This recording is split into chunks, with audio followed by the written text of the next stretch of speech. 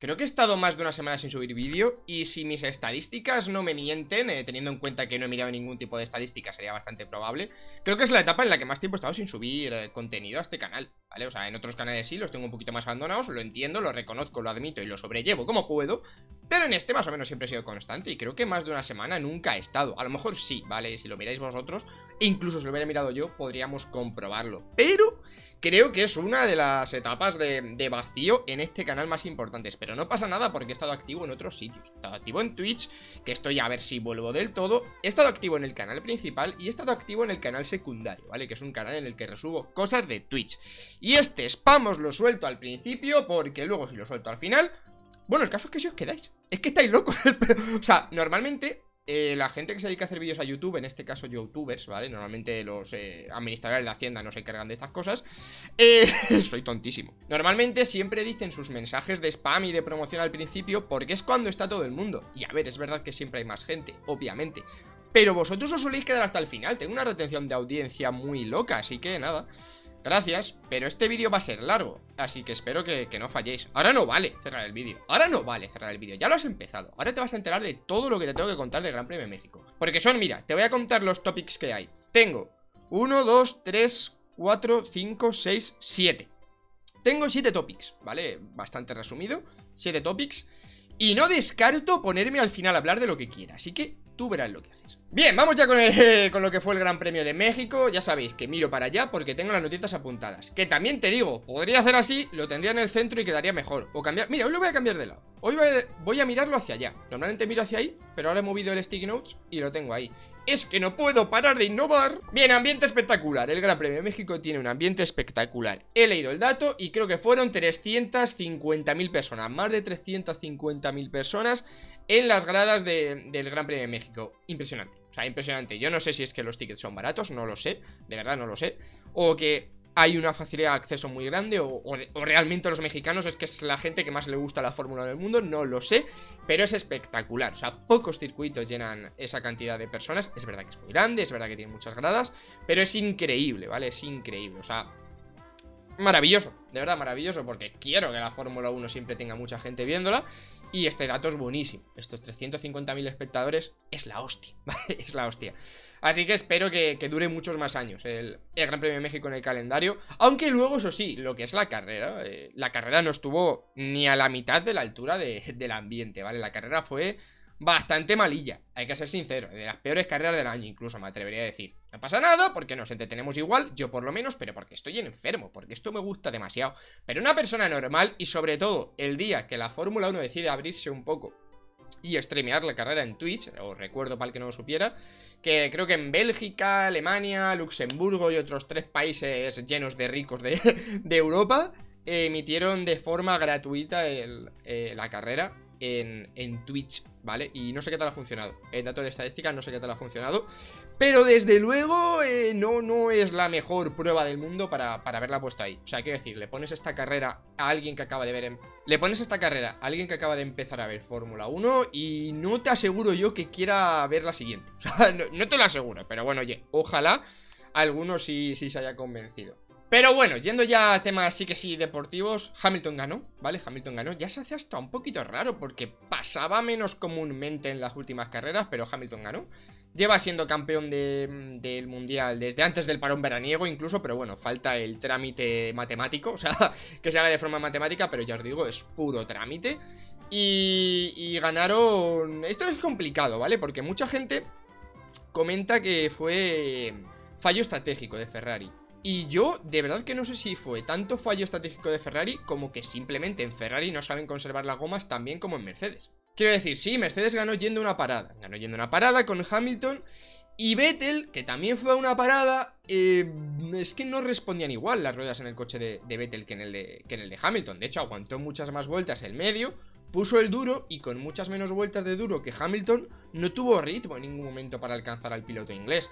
No sé si es por culpa de Vettel, yo creo que no, yo creo que es porque en Ferrari o en el resto de equipos que no son Mercedes no saben sacarle tanto provecho a las gomas. Eh, no, por eso digo que no lo veo tanto fallo estratégico como que simplemente Mercedes en ritmo de carrera y en gestión de neumáticos es muy superior a Ferrari. No es que sea superior, es que es muy superior. Que sí, que Ferrari te alcanza a 850 km por hora en recta, pero a la hora de gestionar una carrera, eso no te vale para ganar. Te vale saber gestionar los neumáticos, en fin.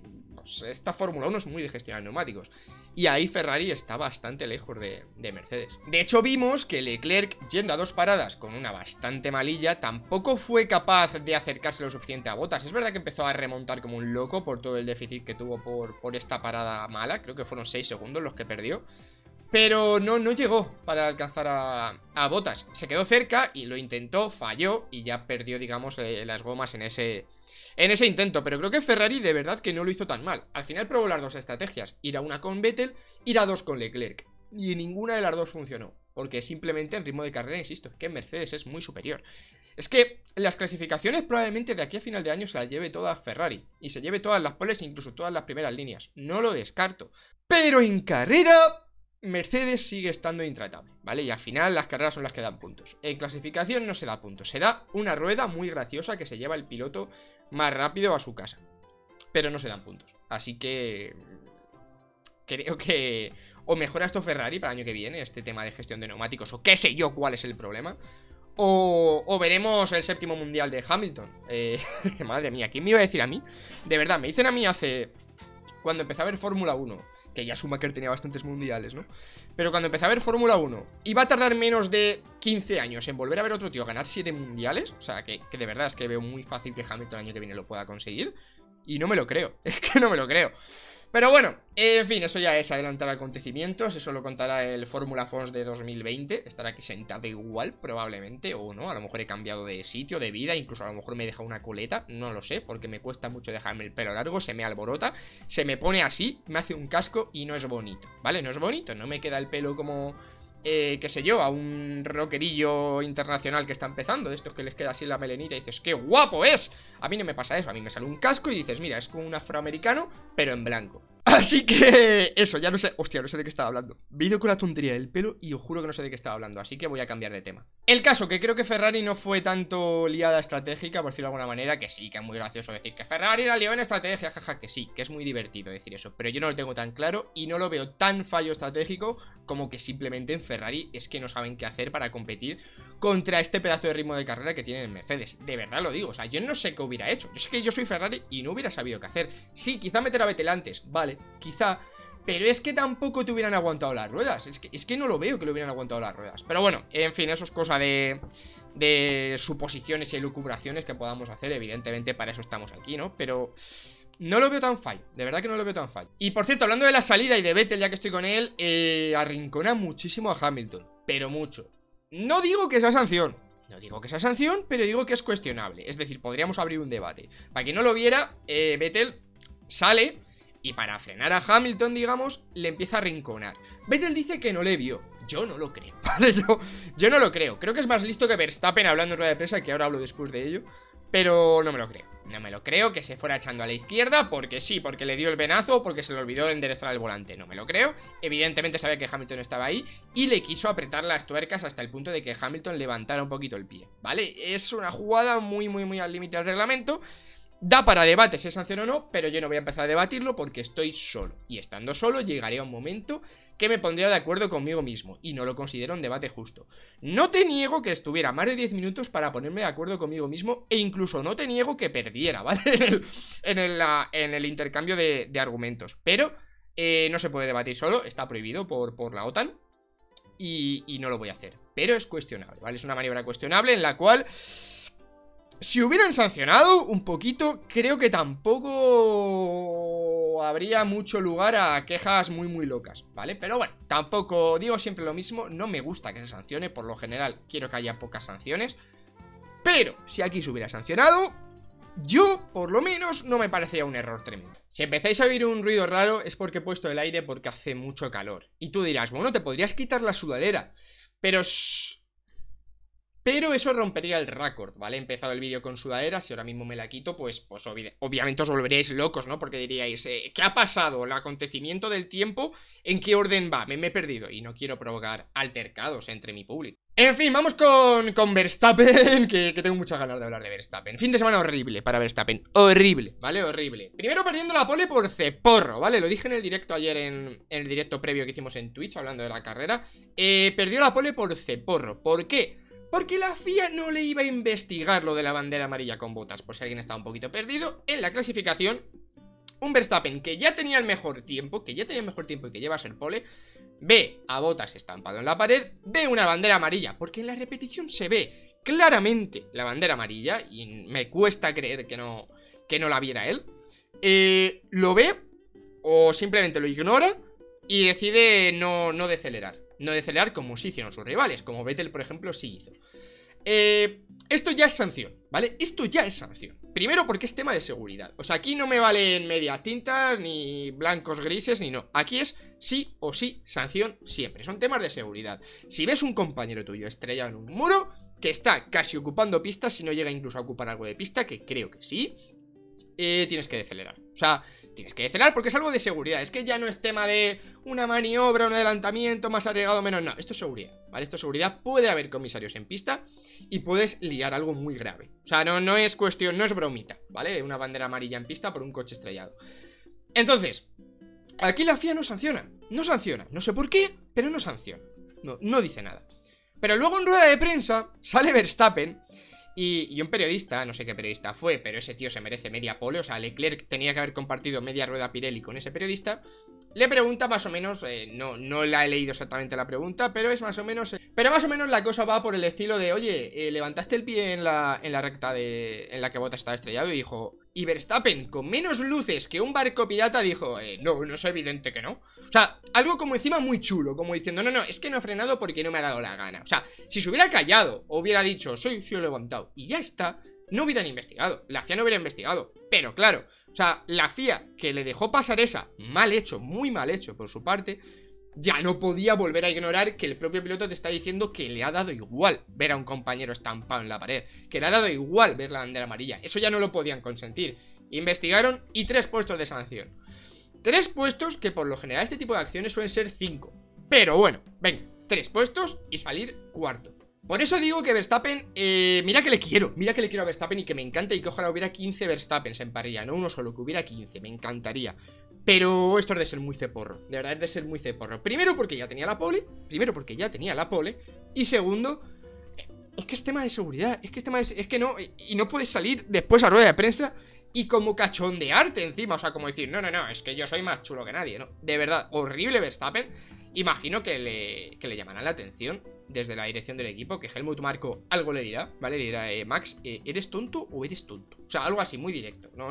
no se va a andar con chiquita Helmut Marco, pero de verdad, eh, es que estoy seguro que el facepalm que hicieron Horner y Marco, cuando Verstappen en rueda de prensa dice que, que no, que no levanta, es que tuvo que ser apoteósico. Pero todo esto es solo el sábado, porque luego llegó el domingo y, y no fue mejor. Primero la salida toques con Hamilton, que sinceramente lo veo incidente de carrera total, ¿vale? Sin sanción para ninguno de los dos. Pero después ahí Verstappen pierde varias posiciones, se queda noveno me parece, con botas octavo, que también tuvo algunos problemas en la salida.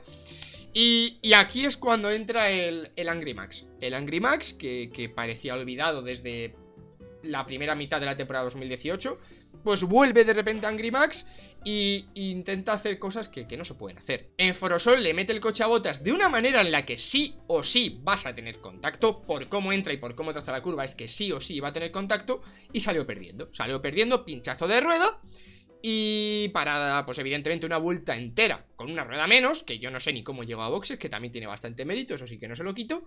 Llega a boxes para, y al final, una carrera en la que podía haber ganado perfectamente, porque su Red Bull sobre todo él y el Red Bull, tenían ritmo, creo, para competir la Mercedes, eh, consigue acabar la sexto. Sexto. Y hay gente que dice, no, pero sexto tiene mucho mérito, incluso el driver of the day es merecido. No, no, no, no, perdona. Cualquier coche del top 6, cualquier coche del top 6 está para acabar sexto, le pase lo que le pase en las 5 o 10 primeras vueltas de la carrera. Le pase lo que les pase. O sea, Cualquier trompo, cualquier... Hombre, si se han estampado contra el muro y no lo han vuelto a arrancar, no, evidentemente. Pero cualquier trompo, cualquier pinchazo, cualquier salida por la hierba, cualquier incidente de estos, tienen ritmo suficiente como para solucionarlo durante las próximas 60 vueltas. Lo tienen, es así. Están un segundo por encima del resto, mínimo. O sea, tienen ese ritmo para conseguir hacer lo que hizo Verstappen. Para mí no tiene ningún mérito que acabara sexto la carrera. Lo que sí que tiene mérito es que no le sancionaran. Hubo una maniobra en especial, una maniobra en especial, que a mí me molestó. Insisto, y me encanta Verstappen y me está doliendo decir todo esto porque me gusta mucho y lo sabéis. Que yo siempre suelo hablar bien de Verstappen y creo que su agresividad es buenísima para la Fórmula 1 por el espectáculo que aporta. Pero hay maniobras en las que no se puede consentir que se fuera sin sanción. No se puede consentir. Para mí la más grave, y ha pasado bastante desapercibida, y no lo entiendo, es la que tiene con... Espero no equivocarme porque creo que era Grosjean, luego he visto una repetición y no sé si era Magnussen, ¿vale? Pero hay un hash con el que en una curva, primero, es una chicane, ¿vale? La chicane que es después de acabar el sector 1. Eh, en la primera curva le toca, ¿vale? Le toca, lo desestabiliza, lo frena y en la siguiente, totalmente por fuera del circuito, pero no con el 100% de la rueda fuera, no. Con el 150% del coche fuera de la pista, o sea, olvidándose por completo de cómo es la curva, le pasa por fuera cierra, le adelanta y empieza a tirar metros. Y no le sancionan, no le cayó ni una sanción. Eh, no lo puedo entender. O sea, que está muy bien favorecer al espectáculo, está a tope y no sancionar. Pero hombre, es que cuando tocas un coche, aprovechas que lo desactivas... Pero es que cuando tocas un coche, aprovechas eh, cómo lo desestabilizas para adelantarle totalmente por fuera del circuito, es que solo le faltó meterle un navajazo a la rueda del coche de Magnussen. O sea, de Magnussen de Grosjean, insisto, es que no lo sé. Es que me ha parecido ver los dos nombres eh, del, del Haas. Lo siento, ahora mismo no me acuerdo cuál de los dos pilotos era. Creo que era Grosjean, pero no lo tengo muy claro. Me pareció una acción muy, muy sancionable, de verdad, muy sancionable. Y lo digo otra vez, y no me importa repetirlo, no me gusta sancionar. Pero eso es sanción. Es que es desestabilizar un coche y luego adelantarle por completo por fuera de la pista. Es que es muy ilegal. Es muy ilegal. No es un poquito de ilegal. No es, joder, le ha tocado un poquito o le ha adelantado por fuera. Es que es muy ilegal. Es que son las dos. o sea, está fatal. Fatal. Pero, pero, pero muy mal. Y no se ha hablado apenas de esto. No, no sé por qué. Pero no se ha hablado apenas de esto. A mí es que me pareció eh, descarado. No sé, es que yo soy Grosjean y en la siguiente curva, eh, pues no sé, lo hubiera adelantado, me hubiera hecho toda la zona esta de las enlazadas. Así, recta, ¿vale? Te la hace recta y le pasas otra vez y ya está. Y, fiesta, ¿vale? F1 esta, como, como el nombre que le han puesto al, al Gran Premio. No, lo puedo entender, de verdad que no lo puedo entender. No sé qué, qué, qué vería la FIA que no viera yo. A lo mejor, a lo mejor, y si ha pasado, de verdad que os juro que no lo he visto en ningún sitio a lo mejor justo después de esa maniobra, Verstappen le cedió la posición y luego se la recuperó. Pero es que yo no vi eso. O sea, yo no vi eso. Si pasó, yo no lo he visto en ninguna toma. Desde luego, ni en directo en la carrera, ni en ninguna toma después en redes sociales. Es la única justificación que le encuentro a que eso no se lleva la sanción. La única. Pero yo no lo he visto no lo he visto, para mí es una cafrada. Así lo digo. Hoy va a ser larguito esto, porque todavía me quedan temas y creo que llevo 20 minutos grabados, así que... ¡Uf! Maravilloso. También es importante comentar el desastre de McLaren. Hace tiempo que no decíamos esto, hace tiempo, pero es un golpe de realidad. Un golpe de realidad en el cual me incluyo. Yo me he llevado un golpe de realidad bastante importante porque este fin de semana parecía en el que más cerca iban a estar del, top 6. Yo incluso soñaba con eh, quizá, con que quizá Sainz se pudiera colar sexto por delante de Albon, ¿no? Que le pudiera competir un poco a ese Red Bull, no al de Verstappen, pero sí al de, al de Albon. Y, el golpe de realidad fue importante. Y no solo por los fallos que tuvo la propia McLaren, el primero, el más grave con Norris, otra carrera arruinada por, eh, por McLaren para, para Norris, fallo de tuerca, le tuvieron que, traer de nuevo al box, eh, Norris se dio cuenta a tiempo y se apartó. Una maniobra un poco rara, ¿no? Porque no recuerdo ver mucho eso en Fórmula 1, pero bueno, consiguieron medio solucionarlo, al menos para que Norris rodara y sacara, pues, eh, yo qué sé, estudios de tiempo o datos, que, que McLaren pudiera recuperar algo de ahí, ¿vale? Algo recuperaría en términos de, de información, supongo. Y ya digo, no solamente por, por tema de estos fallos, igual que el que luego tuvieran con los duros con, con Sainz, sino que en general creo que McLaren se vio que claramente no tenía el ritmo de, Red Bull. Aunque lo de los neumáticos duros de, Carlos Sainz, no, no lo entiendo. La verdad que, que no, lo, no, lo, llega a entender cómo... Em, no entendí dos cosas. La primera, ¿cómo funcionaron tan mal en el coche de Sainz? No, lo entiendo, no sé si es que no. Creo que no se habían probado en ninguna sesión de libres, creo. Y si los habían probado, no sé por qué los pusieron. Eh, y la segunda cosa que no entiendo es, si te das cuenta que no está funcionando el neumático, ¿por qué lo aguantas 20 vueltas? Quiero decir, páralo enseguida y ponle otro compuesto. Creo, ¿eh? Creo que es mejor. Pero, pero no, no lo hicieron. A lo mejor querían ver si entraba en funcionamiento tal. No sé, sus razones tendrían. Pero desastre, desastre de McLaren en una carrera en la que deberían, porque a McLaren yo ya le exijo que sea séptima y octava siempre, por, por ritmo de coche. Pues acabó Sainz el 13 y Norris en el garaje. Así que mal, mal. Hombre, están muy sobrados en el campeonato de constructores. Ese cuarto puesto le tienen prácticamente asegurado. Pero, pero mal, mal porque esperábamos más. Ya empezamos todos a pedir a McLaren mínimo estar ahí. ¿no? Me sorprende después de dónde estaban al inicio de la temporada. Pero ya les pedimos todos estar, estar ahí. Lo importante de esto es sacar la conclusión del, golpe de realidad que esto supone. Falta mucho para llegar al top 6 y aún hay que afianzar esa, ese liderato de la media tabla. Porque Renault parecía que estaba muerta, pero aquí volvió un poquito más. Toro Rosso estuvo muy fuerte, muy muy fuerte, muy bien Gasly y de Kvyat luego hablo. Pero parece que Toro Rosso y Renault pues siguen siendo unos ciertos eh, contendientes a ese a ese cuarto puesto en, constructores. Y Force India, que, que, se va recuperando un pelín Racing Point. Bueno, se va recuperando Checo Pérez, ¿no? Lance Stroll, pues eh, tiene otras cosas más importantes de las que ocuparse que de pilotar bien, ¿vale? Son sus costumbres y hay que respetarlas. Eh, vamos a hablar de Kvyat, ¿vale? vamos a hablar de Kvyat un momentito, porque sigue haciendo más méritos que el propio Albon para que este se quede en Red Bull en 2020. Es decir, Albon lleva, desde que entró a Red Bull, haciendo todo carreras más o menos de 6, ¿vale? O sea, sin ser nada del otro mundo, pero bien, correcto, el trabajo que tiene que hacer, perfecto, niquelado. Pero Kvyat ya se está encargando de darle razones a Red Bull para confiar en Albon, ¿vale? O sea, es como, Oye, que, a mí no me subáis, de verdad, le falta decir eso, llevar un cartel en la frente que ponga no me subáis a Red Bull, por favor. Porque no es normal. Lo que hace la última curva con Hulkenberg no es normal. Es de ser muy burro, O sea, es de ser muy bruto. Eres muy bruto, Kvyat. De verdad, es que... Es la típica de no tengo nada que perder, me tiro por aquí y que sea lo que Dios quiera. Lo que Dios quiso es sanción y que Hulkenberg al final se quedara con, con esa posición. Pero quiso meterse donde no hay hueco, muy optimista, está muy bien, intentar adelantamientos, pero hay que tener un poco de conocimiento, ¿vale? Hay que tener un poco de conocimiento. Y ahí Kvyat, yo no sé si por falta de paciencia o por qué, no, no lo tuvo. No lo tuvo y, mandó a Hulkenberg contra el muro. Que luego el hombre tuvo que llegar sin alerón trasero a la, a la recta de meta, ¿no? Pero bueno. Eh, no sé, una situación bastante surrealista, de verdad. La maniobra me pareció muy de... Eh, muy de rookie, por decirlo de alguna manera, ¿no? Muy de Kvyat, ¿de verdad no te has dado cuenta de que no había hueco? O sea, ¿qué querías intentar? ¿Qué querías conseguir? Exactamente cuál era tu intención. ¿Qué se pasó por esa maravillosa mente tuya, Kvyat, con lo que yo te quiero, para pensar que sí ibas a adelantar ahí? O sea, ¿qué, qué, se te ocurrió? no, no lo puedo comprender. Pero bueno, en fin, que tampoco es para matarle, ¿vale? O sea, simplemente por sanción y ya está. Pero fue muy... como muy bruta la maniobra, muy, muy tonta, muy de... De verdad, no, puedo comprender que hiciera eso. Pero bueno, lo hizo y, sancionado eh, y mal, mal. Esta segunda temporada, esta segunda mitad de temporada de, de está tirando todo lo bien que lo hizo en la primera mitad. Y me da rabia, porque me cae muy bien Kvyat. Pero es que no... Igual que dije en la primera mitad de temporada que Kvyat se merecía más el asiento de Red Bull que, que Albon, eh, ahora mismo no. ahora mismo no. Llevo una segunda mitad de temporada muy mala, Dani Kvyat, pero muy mala.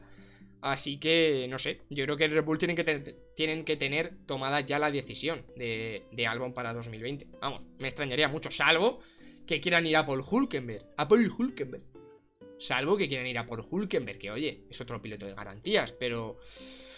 Yo teniendo a Albon ahí y haciéndolo como lo está haciendo, no veo razones para bajarle, ¿vale? No, no veo razones para bajarle. Pero Helmut Marco decidirá qué carrera de qué joven piloto se quiere cargar ahora. Si la de Albon que es la única que queda, o volver a subir aquí y volver a destrozarla, o volver a subir a Gasly, que lo está haciendo muy bien, y volver a destrozarla un poquito más por si aún le quedaban esperanzas, ¿vale? No, no sé qué estará pensando ahora mismo, pero cualquiera de esas opciones me parecería rara.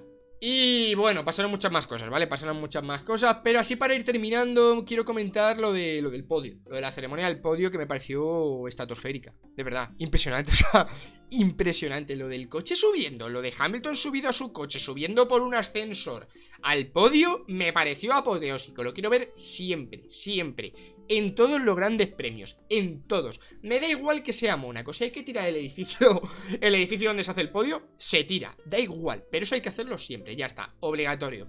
Es que en este circuito no podemos tener un ascensor, pues lo levantan los 17 pilotos que nos han subido al podio, a pulso, ¿vale? Lo levantan y ya está, y queda todo muy bonito, no sé Algo hay que buscar, algo hay que buscar porque quiero ver eso siempre Me gustó mucho, me pareció espectacular La organización del Gran Premio en general fue la hostia Pero esta maniobra de podio me pareció brillante, de verdad, brillante Y reconozco que soy bastante tradicionalista en este tema de celebraciones y tal pero me gustan mucho estas cosas que hace, que hace Liberty de vez en cuando. Eso sí, lo del torero piloto mariachi no lo soporté, ¿vale? Llegó un momento que me pareció de parecer simpático, de hacerme gracia, a decir, eh, por favor, bájate del escenario y, deja a la gente en paz, ¿vale? El momento del podio con el tío queriéndose hacer fotos con los tres ganadores, eh, no, sobras, ¿vale? sobras muchísimo, vete, de hecho vete le echa, en un GIF hay un GIF buenísimo en el que le aparta, ¿no? Y que, que es su trabajo, ¿vale? Que le han dicho que haga eso, o sea, no es culpa del tío disfrazado. Pero ese afán de protagonismo ya, ya me sobró un poco, ¿no? Pero bueno, en fin, eh, en general una, una ceremonia buenísima, ¿vale? Luego hubo conciertos de DJ y no sé qué, DJ Tiesto creo que era.